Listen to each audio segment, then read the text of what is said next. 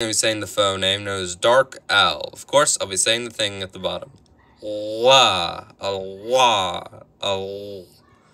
There you go.